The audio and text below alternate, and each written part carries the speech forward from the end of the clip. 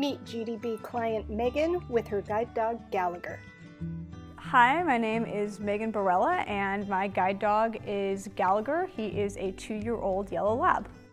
Megan sits on a chair with Gallagher at her side against a colorful backdrop of GDB photo murals. So my first dog that I ever had as a pet was a canine buddy from Guide Dogs for the Blind.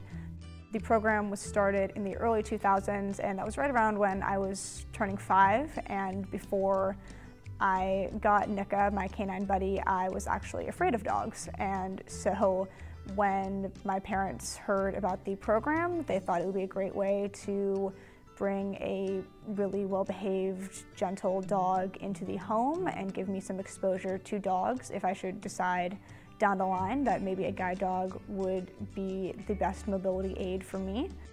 Having Nika really helped me overcome my fear of dogs and grow to love them and now have Gallagher.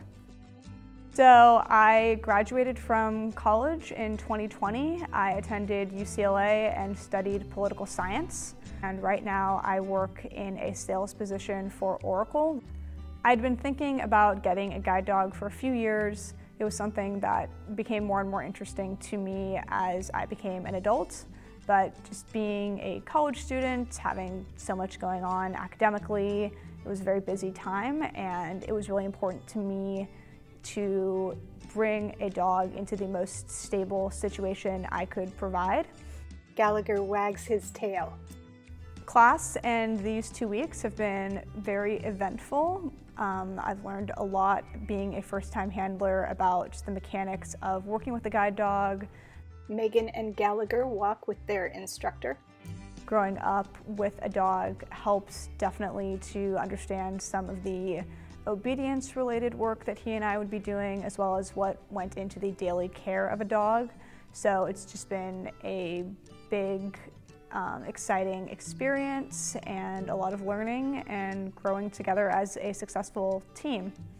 So I've been a cane user since I was three and I received orientation and mobility training all throughout my K through 12 education.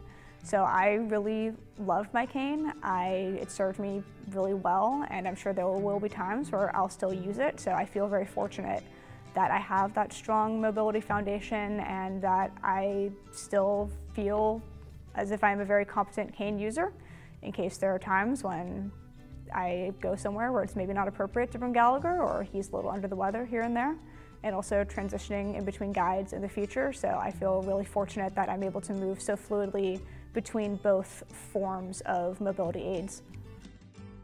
Um, ahead for us, I like to hike, so I'm looking forward to getting him out to some local trails. Being in my early 20s, I like to get out and explore new places, try new restaurants, new bars, so he'll be enjoying some nightlife as well.